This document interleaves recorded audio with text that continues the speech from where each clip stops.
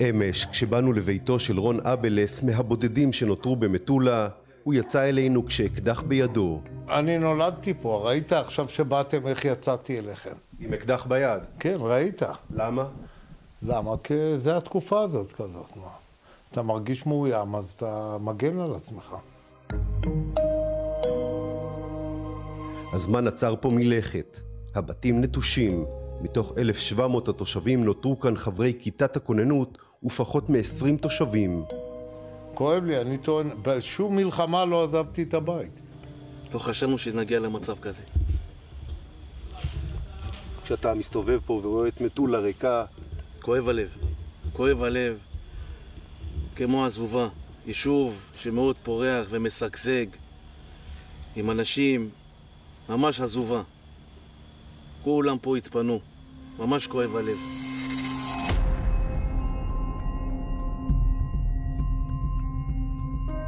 ביום הראשון למלחמה קיבלו התושבים הנחיה לפנות את המושבה הוותיקה. היישוב מוקף משלושת עבריו בגבול לבנון. זה המקום האידיאלי מבחינת חיזבאללה לחדור ולהשתלט על יישוב ישראלי. ספק רב אם יצליחו במשימתם. כוחות גדולים מאוד של צבא מחכים להם. ההגעה למושבה היא אתגר ביטחוני. כבר בעלייה למטולה וליישובי ההר אתה מבין שחוקי המשחק כאן הם שונים לחלוטין. מדובר באזור מאוים, הכביש שעולה לשם נצפה ואתה תחת איום ירי נ"ט בכל רגע נתון. טוב, אנחנו מגיעים עכשיו לאחת הנקודות הבעייתיות ביותר בשבעת הקילומטרים שמפרידים בין קריית שמונה למטולה. כאן, ממש אחרי הסיבוב הזה. מכאן משקיף עלינו הכפר הלבנוני אדייסה, כפר שכל כולו חיזבאללה, ואנחנו עכשיו חשופים לחלוטין לירי טילי נ"ט. נעבור את זה כמה שיותר מהר.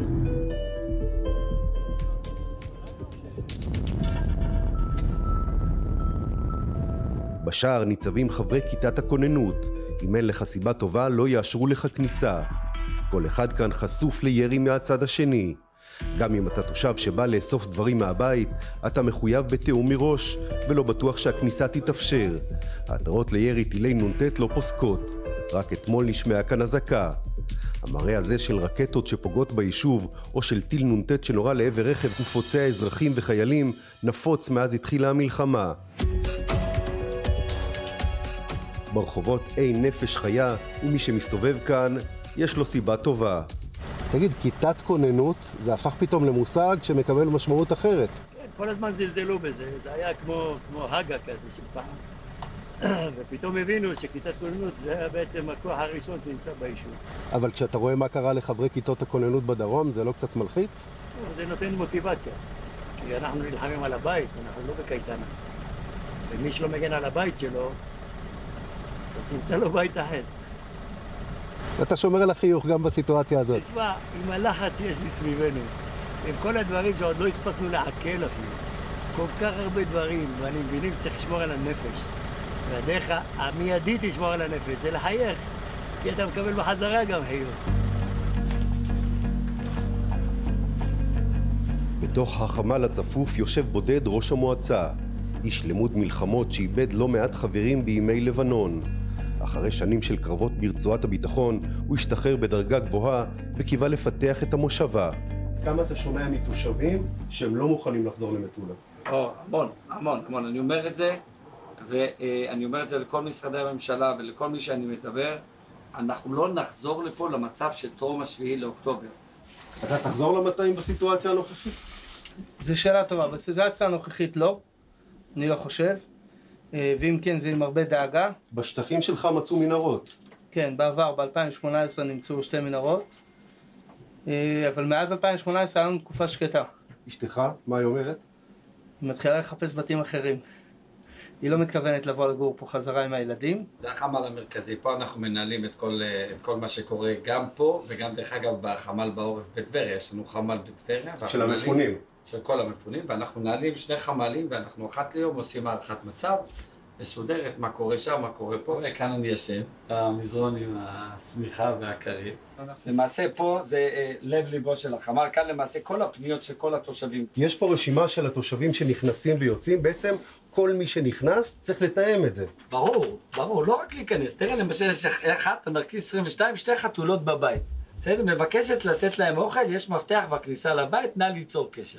אנחנו יוצרים קשר ואנחנו נכנסים, למשל זו שכונה שאנחנו עולים אליה רק בלילה ואנחנו מאכילים. כשהלילה יורד אנחנו יוצאים לסיור עם הרבש"ץ. אנחנו עומדים למבחן שאסור לנו לקבל בו 99.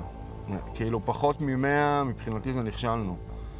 ובשביל להגיע לתוצאה הזאת, כל אחד במסגרת שלו, אם זה בעורף, אם זה במלונות, אם זה אנחנו פה ששומרים על, ה... על היישוב, אם זה החיילים אה, ששומרים עלינו, כל אחד יצטרך לתת את המאה אחוז שלו אה, כדי שבאמת בסופו של דבר נקבל מאה ונחזור לפה יותר חזקים ועם עתיד יותר טוב. את עופר אני מכיר שנים ארוכות. לא סתם הוא קיבל לאורך השנים אותות הצטיינות. הוא הכין את היישוב לימים כאלה.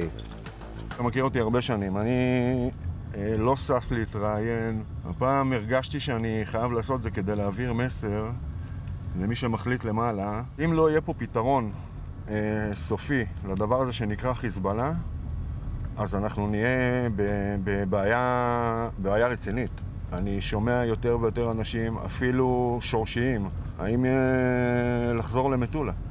במידה ולא יטפלו בחיזבאללה. אנחנו לא מפחדים, אנחנו חזקים, אנחנו מוכנים, אה, ומה שנצטרך אנחנו נעשה. אבל בסופו של תהליך, כדי שכל המשפחות יחזרו לפה עם חיוך, אה, אנחנו צריכים להסתכל מעבר לגדר ולא לראות את הדבר הזה שנקרא חיזבאללה. אתה סומך על צה"ל ועל המדינה? מאוד. למרות מה שראינו בדרום? למרות מה שראינו בדרום.